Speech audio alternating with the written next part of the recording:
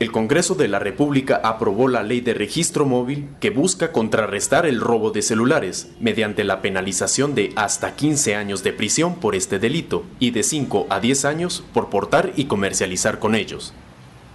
La ley fue aprobada de urgencia nacional con 117 votos a favor y 8 en contra. Esta plantea un sistema para controlar a los importadores, exportadores y comercializadores por medio del registro de todos los celulares en el país.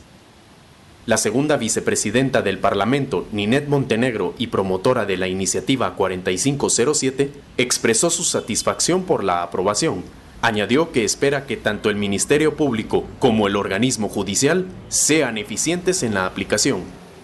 El presidente Otto Pérez dijo a una radioestación que la ley estaría vigente en ocho días.